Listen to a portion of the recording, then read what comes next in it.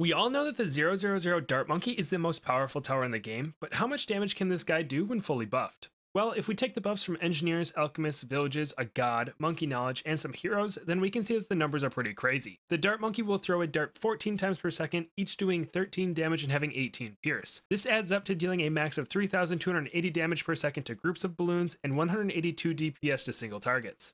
Now, I should mention that this is at his highest peak with every ability being activated, high level heroes in the game, 100% of his pierce and damage being used, and the bloons are either all ceramics or blimps. If all of these conditions are met, then he can hit those numbers. And technically, you can buff it even more with powers, but we don't use those here. This is nice to know, but what does this translate to in game? Well, we can see that it completely dismantles fortified mobs and BFBs in just a few seconds, but ZOMGs are where it starts to struggle. Now, this was not a co-op game, so we only had Pat Fusty, and every other buffing tower stepped in to help out the Dart, but even amongst the chaos, we can still see how much destruction this guy brings to the table. But to get a better understanding of the damage, I looked up each blimp's health and mathed out how long it would take just the super buff Dart Monkey to pop each type, and unfortunately, anything after a fortified BFB is unrealistic for it to handle alone. And I should mention that these were very optimistic estimates using best case scenarios. But that is the max that the 000 Dart Monkey can do and why it is feared by bloons all across the world. Before we go, you should know that Ezili accidentally turned herself into a blowfish and the only way to get her back is to subscribe.